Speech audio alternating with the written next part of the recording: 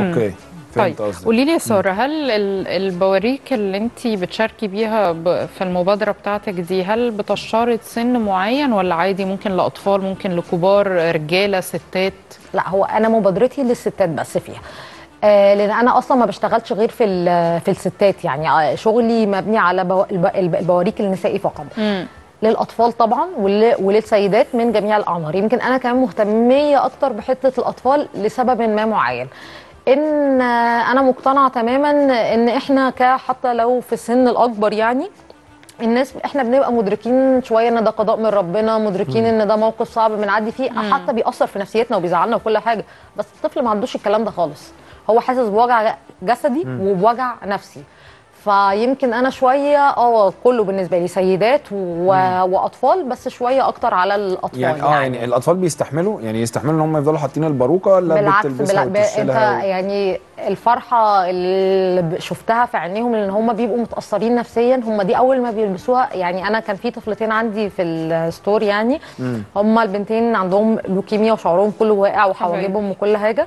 فانا اول ما ظبطت لهم البواريك والحاجة الب... في واحدة فيهم الاكبر شوية يعني كانت متأثرة نفسيا أكتر فكانت هي قاعدة ما بتتكلمش إنما الثانية عشان سن أصغر بقت بتتنطط كبيرة و- واعية أكتر فحاسة بالفرق. فحاسة بالحاجة أكتر فيها إنما التانية بقت بتتنطط ومبسوطة وبتحرك في شعرها كأنه شعرها فحسيت اليوم ده حسيت بجد يعني اللي هو أنت قادر فعلا ده بي- بينبسطوا فيها فعلا يعني آه. جدا. حلو قوي ما شاء طب الله. سارة هل في مواقف عدت عليكي كانت صعبة وانت بتسلمي بواريك ل- لمحاربات سرطان؟ أكيد زي أكيد بقى؟ أكيد. يعني ان عياط الأهالي. يعني لما تبقى مثلا آه، يعني أم معاها طف- طفلتها حتى لو البنت عندها 13 14 سنة البنت لما بتلبس الباروكة بتبقى لسه قاعدة مخدوم م- مامتها لما بتشوفها عشان مامتها عارفة البنت دي بتقعد تعيط كل يوم قد إيه على الموضوع ده عارفة هي موجوعة قد إيه كل يوم على الموضوع ده. فما فيش أم أو حد من الأهالي جالي خصوصا للأطفال إلا وانهارت في العياط. أول أول لما شافتها في الباروكة. و...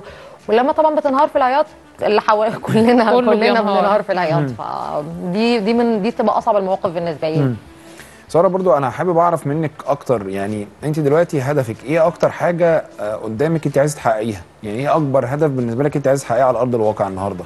أنا ده يمكن حتى قلته آه، من أول ما من أول ما بدأت المشروع خالص إن أنا نفسي لو أنا قدرت أكمل يعني إن أنا أعمل الربح الكافي في خلال السنة في خلال السنة المقبلة دي أنا عايزة أتبرع بعدد وأتمنى إن يكون أكتر من اللي هيقولوا 100 باروكة 57 357 لأن زي ما قلت لك أنا حتة الأطفال دي بت آه، يعني أكيد عن- طبعا. آه عندي فيها مؤثرة جدا. ده اللي هو نفسي آه، يعني بجد إن أنا أقدر أتبرع بعدد كبير جدا لمستشفى 57 3 57 طيب آه. سارة قولي لي يعني هل يعني ممكن نساعد كده السيدات دلوقتي اللي بتتفرج علينا لو واحدة سواء محاربة سرطان أو لأ؟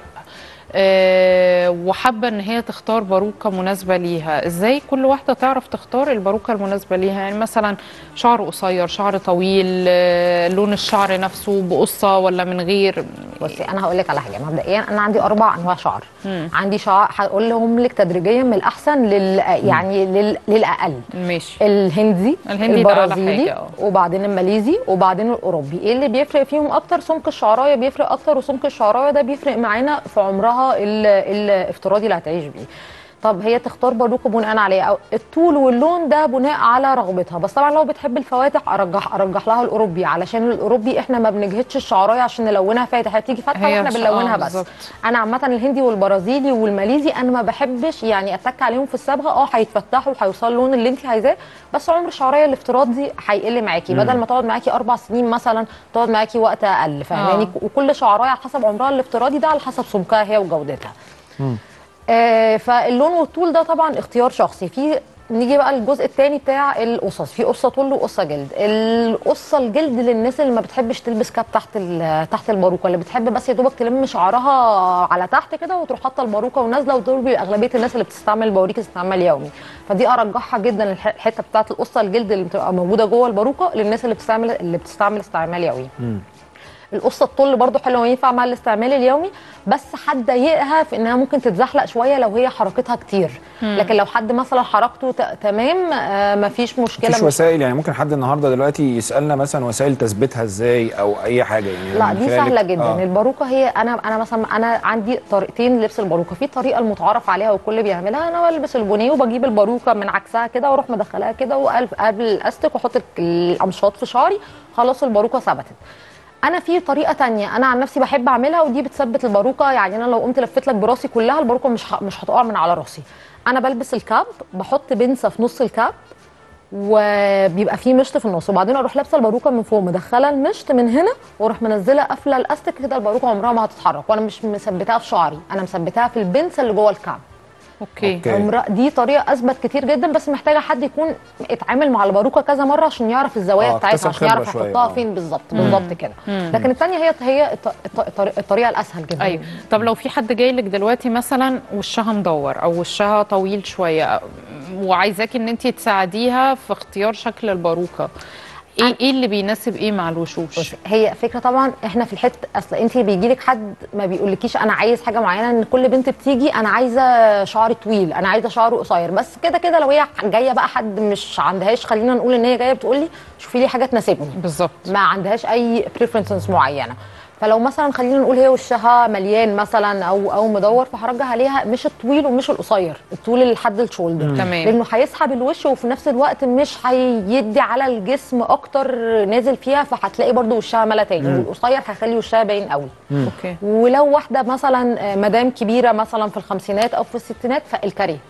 الكاريه الكاريه، الكاريه آه. الكاريه ده بيبقى حلو عليهم جدا وبيديهم شكل ألطف كتير قوي وبيصغر في السن معاهم قوي جدا يعني. حلو. طيب أنا برضو بصي يعني في حاجة برضو عايز أسألك فيها خصوصا يعني هل مثلا